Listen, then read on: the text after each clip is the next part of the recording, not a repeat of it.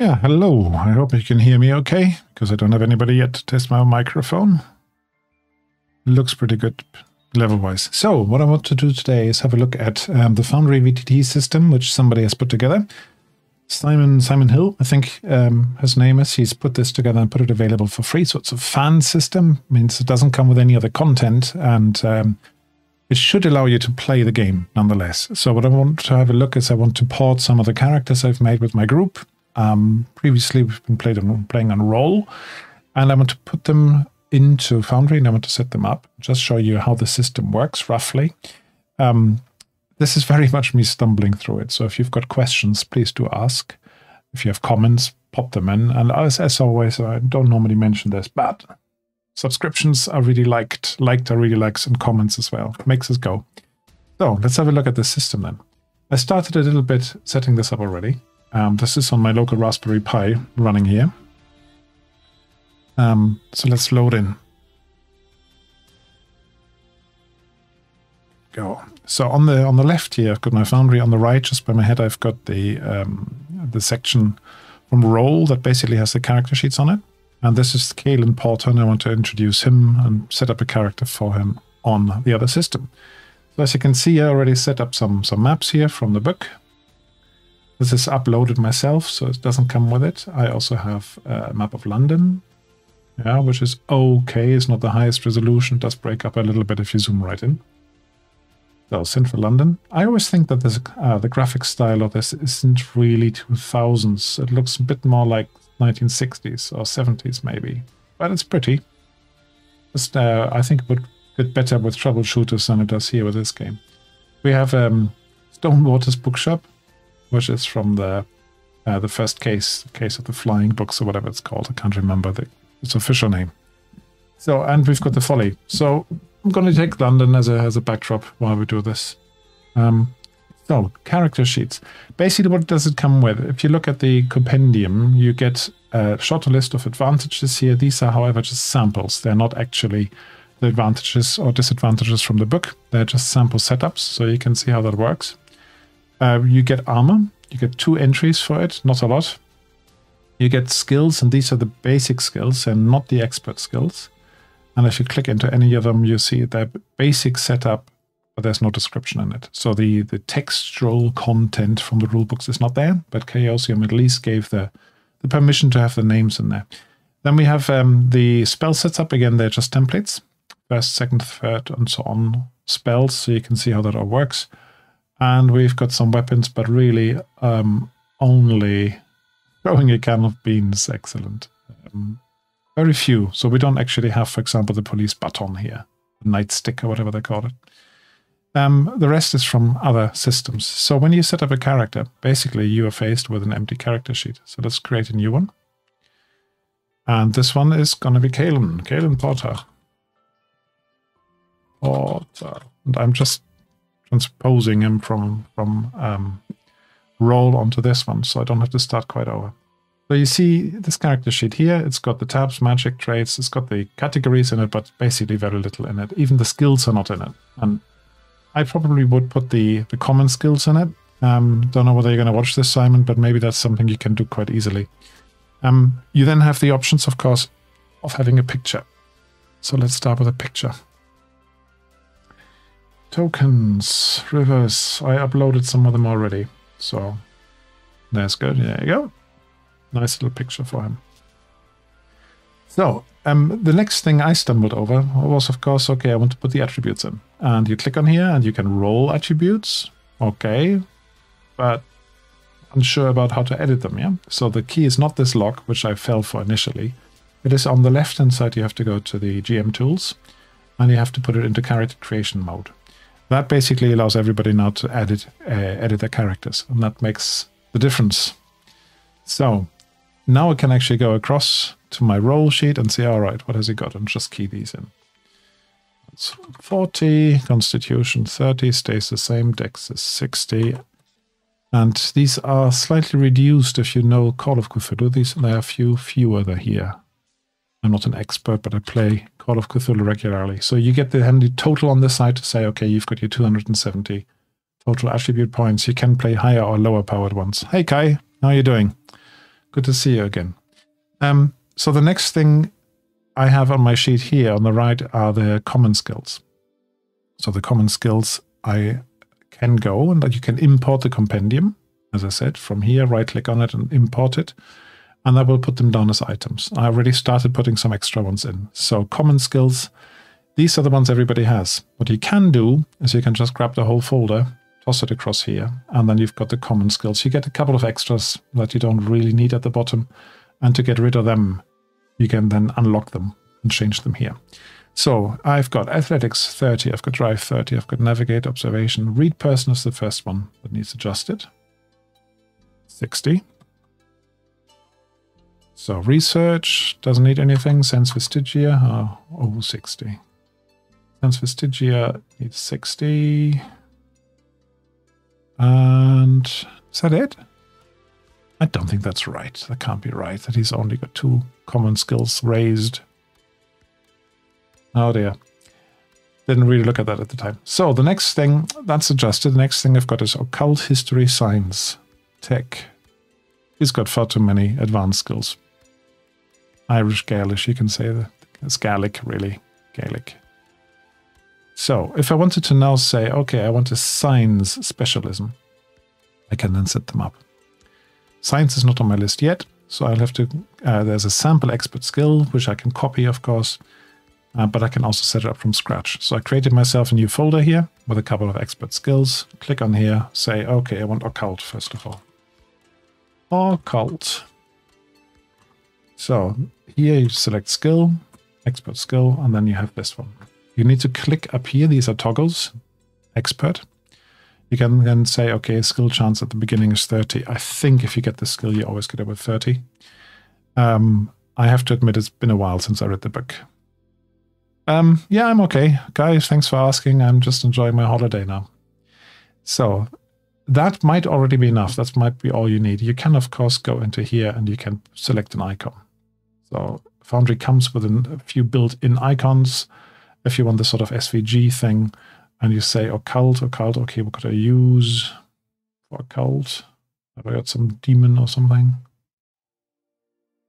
That looks quite cool. So you can adjust these or you can find a nice token set that you like and do that. But if I, you wanted the, the, description in it, um, let me open the PDF here on the side. And then go to skill list. Can find the expert skills, go to occult. And here's a little trick that I do. Copy and pasting. Um, I've shown this before, but it's many, many moons ago. So you may not know it. Oh, occult is here. Occult. So you grab the whole thing, that's it. Control C. I then go into Notepad++. Plus. There's this little, little window here. Paste that in, and that basically allows you to strip out the formatting. So you select the lines that belong together. Control J to join them up.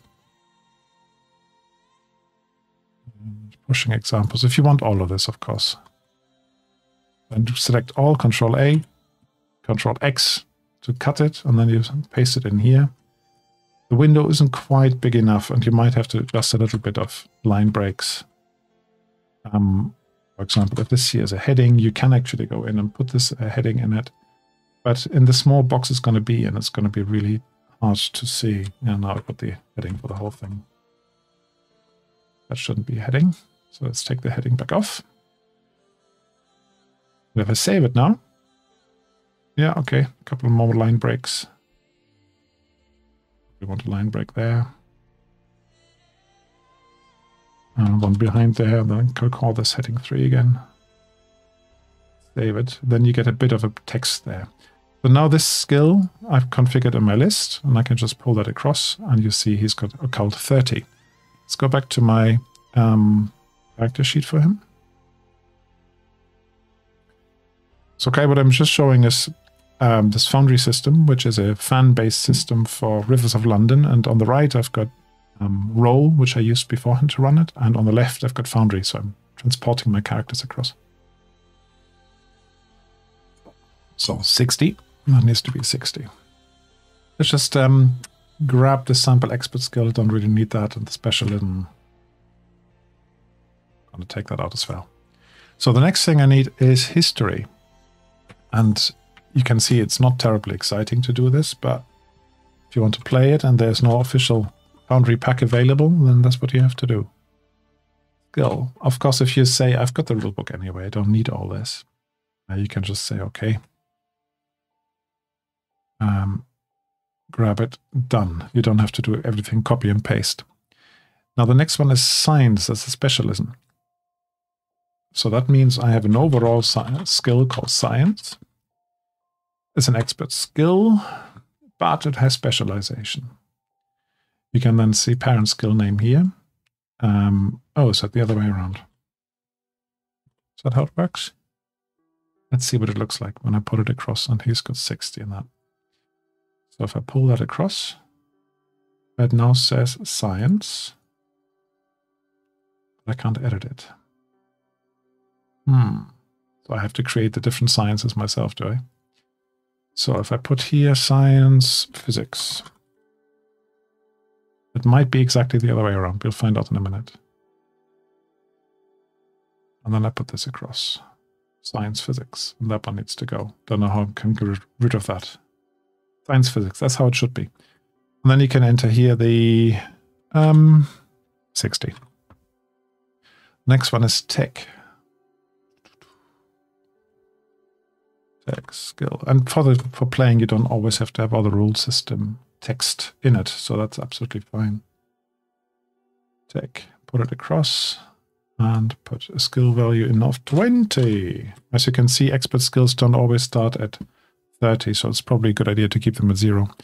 And we've got art and craft, which is a specialization of photography. So again, we have um, art and craft.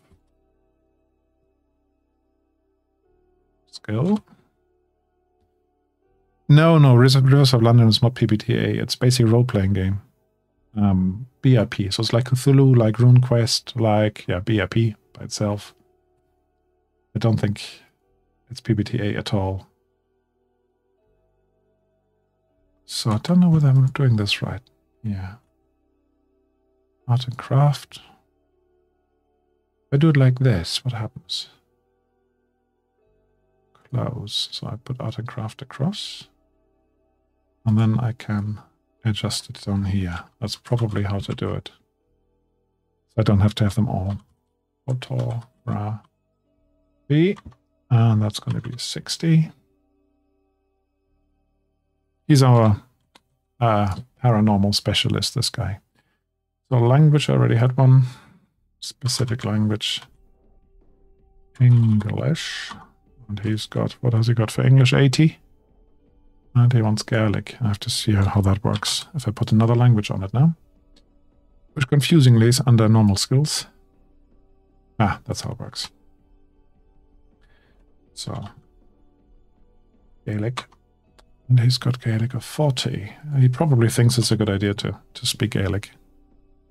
And then we've got computer use, which is pre-configured by myself. 20. So I now have skills that I needed. Is there anything extra? That's science I need to get rid of somehow. Not quite sure how I'm going to rid of it. Rid me myself of that. Right, what's next? Luck points. Um, he has 51 luck at this point. And what else do we have? Got his name, we've got his occupation, which I can copy and paste. It lets me, yeah. Born in Belfast, Northern Ireland, lives in London. I haven't settled on the year yet, so rather than putting an age in, I'm just going to put his birthday in.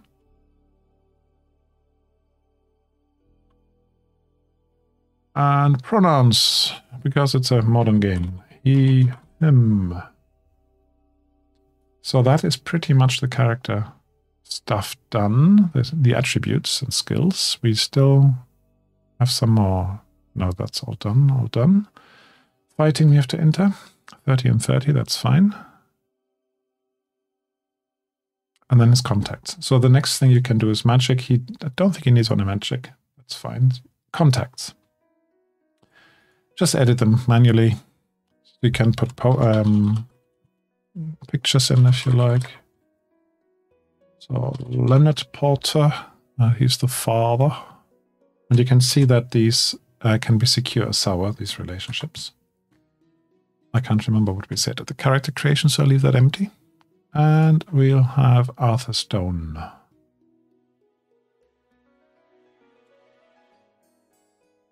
Arthur Stone. So relationship physics professor.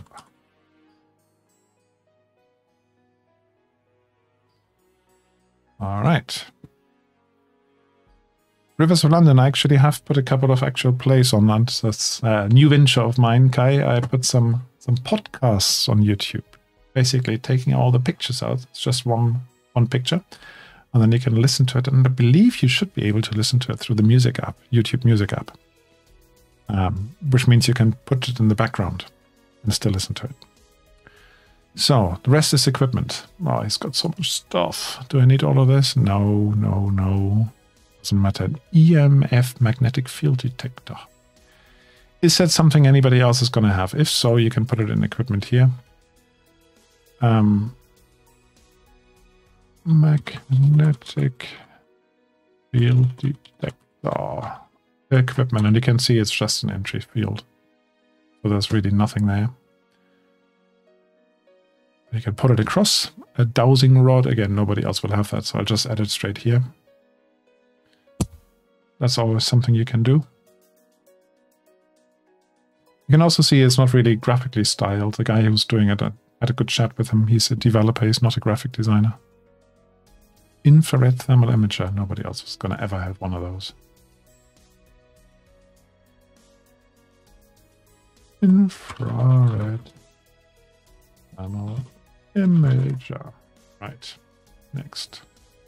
And I'm going to do one character, and then I'll have a look at some other stuff. Handheld recording equipment. Again, that's just for him. Handheld recording equipment. They've just um, they've been through two cases. This group. One is out in London. One is in Wales. So we've done that, and then there's a bit more biography. So he lives in London by himself. I can go into this presenter. He lived in Belfast. His whole childhood.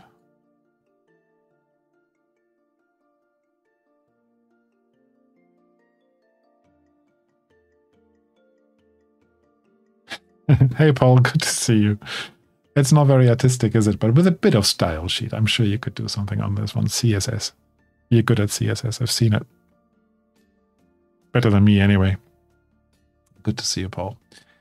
So, um, that is now, I think, really everything we need for one character. Just scrolling through on the right-hand side. Is there anything I forgot? Oh, yes, the advantages. I need to cre create those.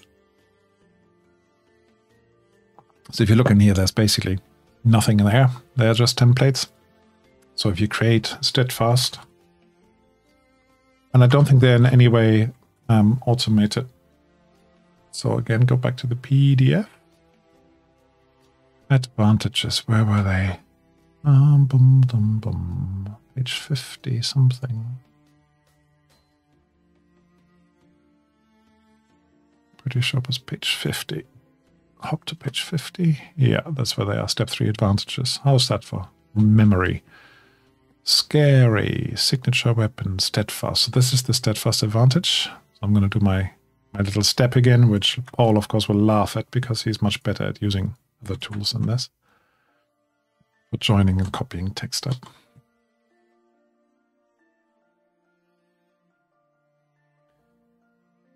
So have a look at this. Is there anything you need? You need a requirement of uh, power of 60. So that's again something you can enter in here. This is an advantage effect. What is the effect of it? Mm, does not suffer impairment as a result of these things. Is that one of the predetermined things? I don't think it is. So I'll leave that empty. Uh, prerequisites, there is one prerequisite, so A, and the prerequisite is a characteristic minimum value of power of 60. So you can see how that's coded in, so there's some sense checking whether you qualify for it or not. So I can then pull this across, and it will show up under traits, under steadfast. That's one of them. Do you remember the other one? I don't. What else did you have?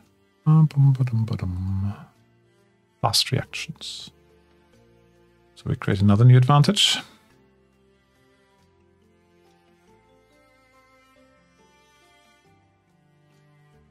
Fast reactions, and I think that's something to do with initiative, memory. Advantages. Yeah, Paul, you played this with me on roll as well, didn't you? You played um, this game with me. What did you make of it, Paul? Because I ran the same scenario three times. Oh, fast. There it is. Fast reactions.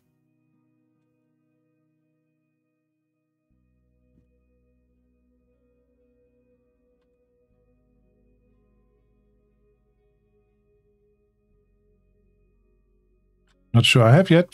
Oh, we have played this, haven't we? Pretty sure we played this. Rivers of London together. On roll. Unless you're a different Paul Watson. Played Darren Dragonbane. Uh, maybe I'm confusing things because I have played this with people in English. I have recordings of it. I thought you were in it. I need to check on my YouTube channel now. Right, we have a rec requirement of, what was it, Dex 60. So Dex 60. What do you make of the implementation Simon made here? Paul as an expert who develops these sort of systems. So fast reactions. Boom. So I think that's two characters done now, or three. So I can then in, exit my character creation mode up here. Yeah, that locks it. And you can see the you've got the full value and the half value. They they got away with the fifth of the value. Did away with that one. You can just have a dice roller here. And say you get a bonus die, roll the dice, here they come. And then it says, it's a success. And you can either spend luck uh, or not. Played from the chat card. So that's quite neat. That's quite nice to have that one. You like clear sheets? Yeah, it is clear. There's nothing cluttered. And the only uh, artistic touch is really this little, I guess it's the River Thames. And then Falcon Operative Experience Assessment, it says up there. So, um, what is quite neat in a way is, and I haven't really, I don't remember all of this because it's been a while since I went through this with Simon, a few weeks. You have these um, injury effects here. So if you have a damage of one, for example, and you're hurt, damage of two, you're bloodied, and then all of a sudden you get the effects that you're impaired, which means you have a disadvantage on everything you roll. If you three, you have down. So the more damage you take, basically, you've got a mortal wound now. Uh, a fatal wound, you can see how the effects come on. And you can also say you're hurt or you're bloodied, or yeah, you can click them on and off here. Um, you have hyperthaumaturgical hyperthaumaturgical degradation. So that basically means you're uh, starting to suffer from using too much magic. Doesn't apply to this guy because he doesn't have magic. If you're trying to create spells, by the way, and I have one uh, character here with some spells, Randall, um, make sure you give him an advantage of magic. And when you configure this advantage of magic, let me show you that. Um, magical, it's called you have to put the advantage effect of magic on. If you don't do that and put it on the character sheet, you can't put any spells on the character sheet. So there is some um, some good way of dragging and dropping this on, but it will just say you're not eligible, you're not meeting the requirements, and finding out what the requirement is uh, took me a moment. Let's put it that way. Which is having the right advantage configured correctly. Because I just put magical on, but I didn't do that box. I forgot this box. I'll just put these things in. Right. I'm not quite sure what the icon does either. Hmm.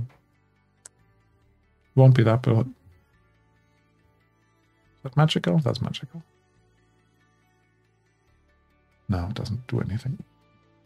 So, Um, there is some fighting on this one. There is some initiative and so on. And you've got these different modes. As I said, you've got the end of session phase where you get a pop up to say how many uh, development points do you want to award for everybody.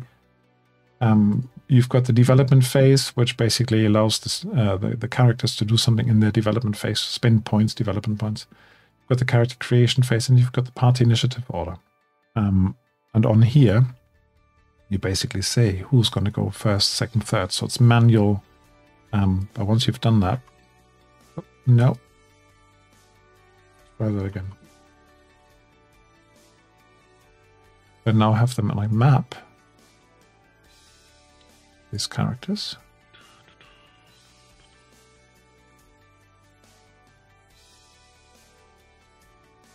A bit brighter.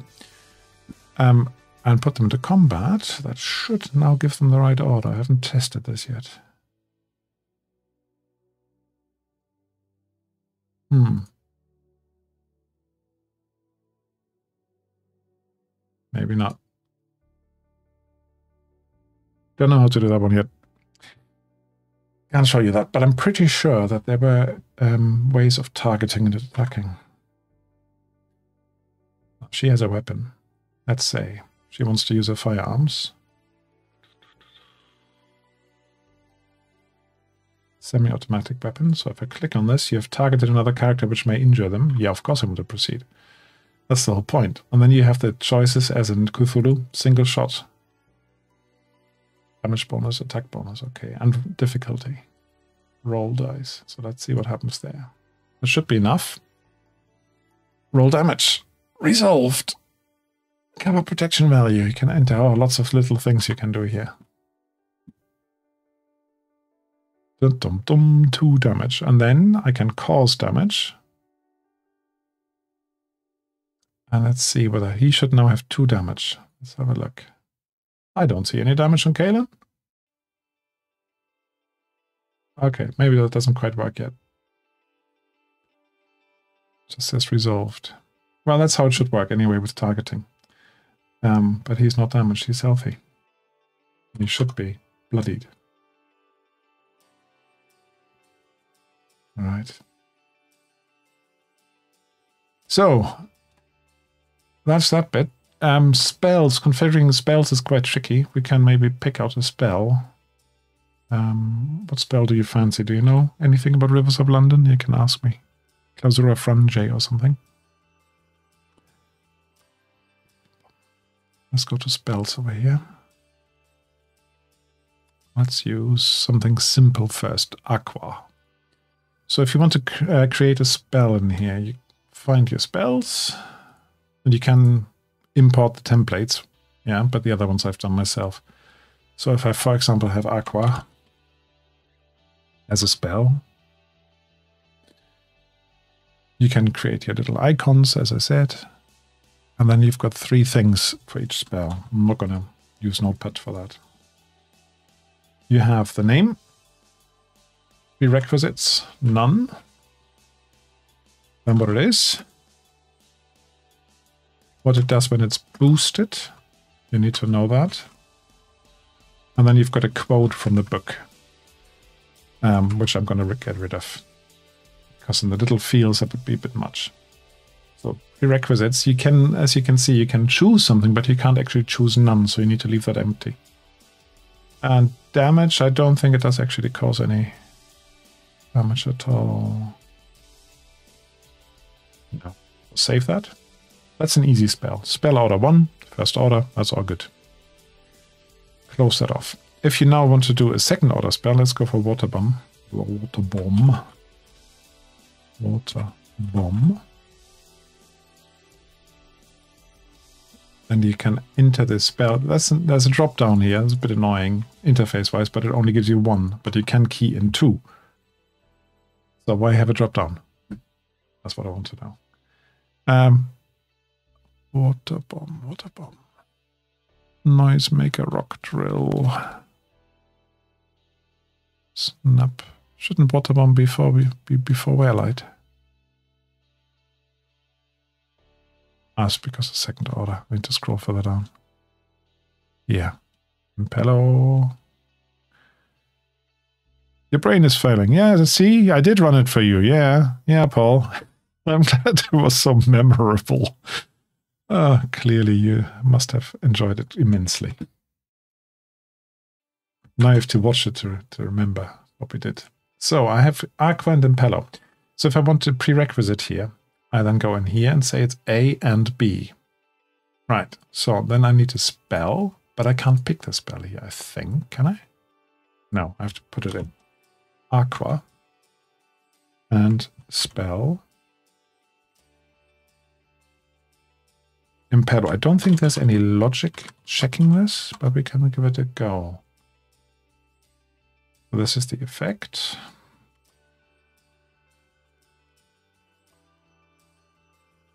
The boost.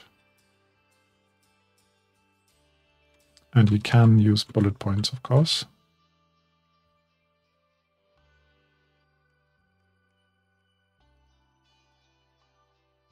What's the best layout about there? That's why I normally use Notepad for anything longer.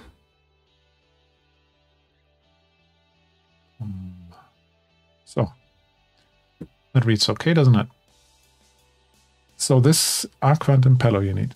And for example, K, well, here's the magic one. If I look at his spells, he has uh, Impello, but he doesn't have Aqua. So let's see. If I drag this spell onto him with the requirement of uh, Aqua, it should bounce back, but it doesn't. So the, the logic isn't really there to check that. It's just for information. Right. So that's how you enter a spell. Um, what else do you want to know? Do you want to see anything else? How it's implemented? Doesn't come with any uh, rollable tables at all. Uh, it does come with no scenes. I put them in. So basically, yeah, it's a really good basic implementation which allows you to play it. I certainly like Foundry a lot, and having um, Foundry version of this hopefully will help us play it a bit more. Roll is pretty good as well, don't get me wrong. I enjoy roll, but as soon as you have maps or you have more than one, three, four, five handouts, it gets a bit messy. So on here, for example, there are some handouts which I would create as journal entries. So handouts, not a lot, but there's something about cockfighting and things. So this is called, I can't remember what the case is called. I just called it Flying Books. Stone Waters, I think it's called. Add a page, and then you can choose what sort of page it might be. I can't remember what it is. There's something about cockfighting. And because it's a pre-existing image, I'm just going to choose image. Um, go to user data, Wells, Rivers of London. Um, create a subfolder. Handouts. In handouts. Hopefully I can find it now. Downward uh, handout one, handout two, handout three. And while I'm here, just going to upload them all.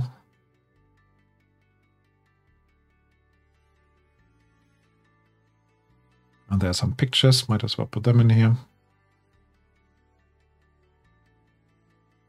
It's not necessarily how I would organize my, my file system, but I just want to be, to be quick. So, um,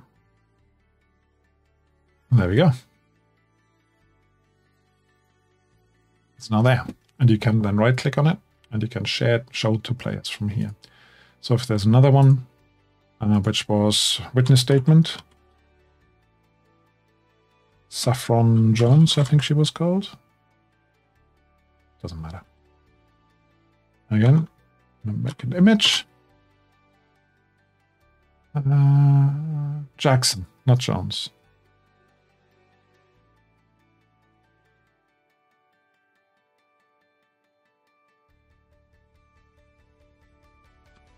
I'll just call it statement.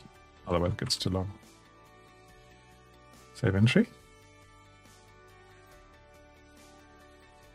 There's the next one. And this is easier to organize than role is. Yeah, the, the way handouts work. So um, statement Anderson. I don't remember his first name. Oh, that's text now. You can actually put an image into this as well. Um, just an extra click. I don't think it makes any difference, does it, Paul? Warwick.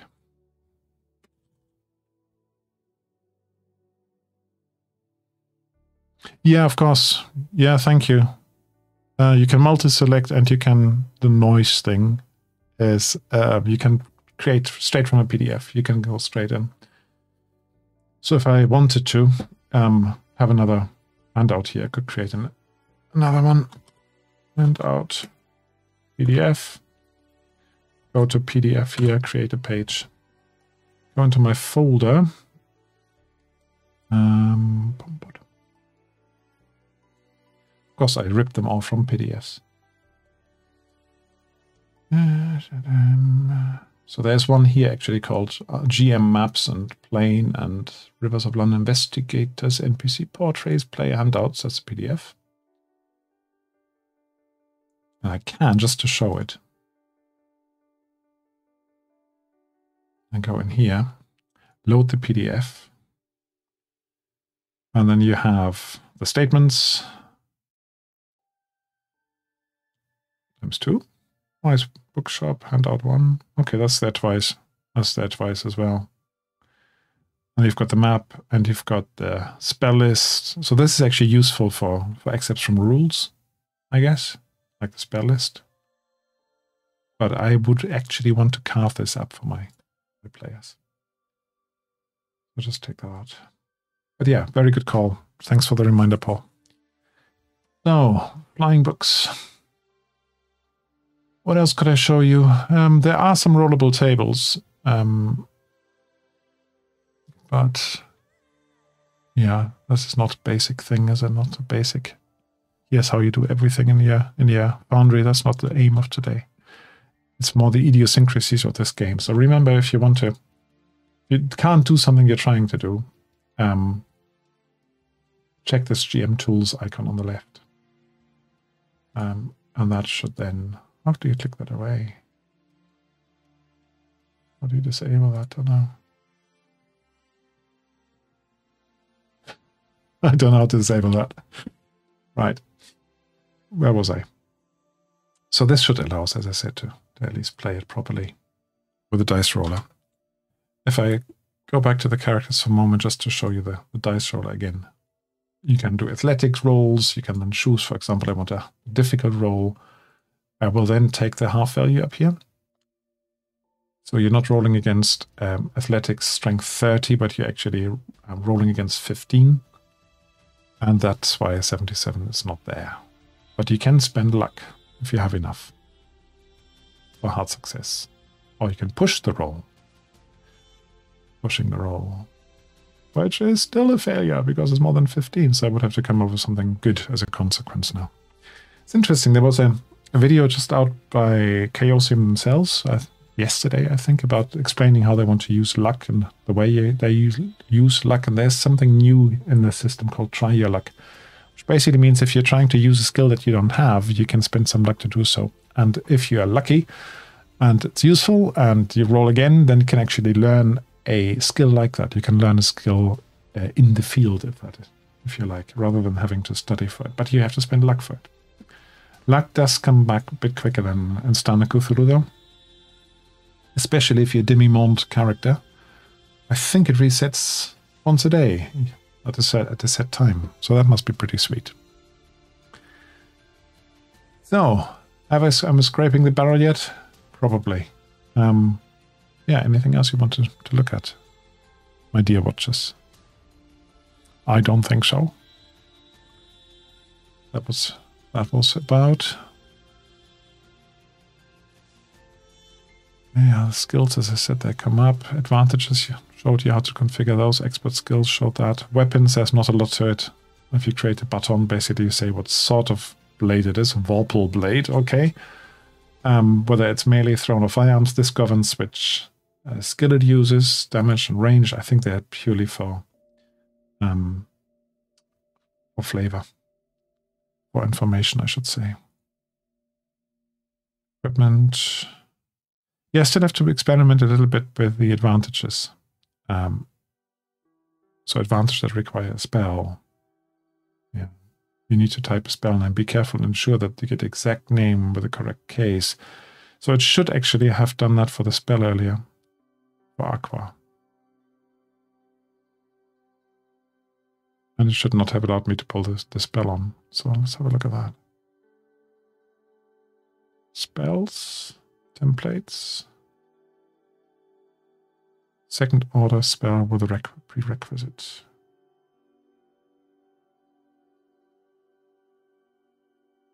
But it must be mastered, spell mastered. Yeah. Didn't do that. Didn't check that logic. But hey, players have brains, GMs can play uh, have brains. You don't need to automate everything, right? So, I think that's probably me rambling on enough for now. How long have we been on? 42 minutes for a short explanation. Um, I really would like to, to run Rivers of London again. And Paul, seeing as you have played but you can't remember it, we can use the same scenario again. How about it? Hmm? Or would you rather play Blade Runner, discussed? Or Mutant Year Zero again, like we did uh, last Sunday. That was good as well. Peter would be up for what? For Blade Runner? or for rivers. Rivers. Okay, might do that again. But again, it's a game that I think works best with two to four players, not necessarily six. So we have to see how that fits into our schedule. Anyway, I'm think I'm going to take this to a close. Um, if you haven't subscribed yet, you know what to do. If you haven't followed yet, yeah, or YouTube later on, leave a comment or a like or something. Yeah, I'll happily take any Prime subscriptions that are going free as well. Yeah, I get for every one of those, I get about one dollar. So, first money I've ever earned from streaming. Okay. At that point, after that commercial shilling, I will probably just say goodbye for now. Have a good afternoon. And I'm going to practice some music now. Farewell.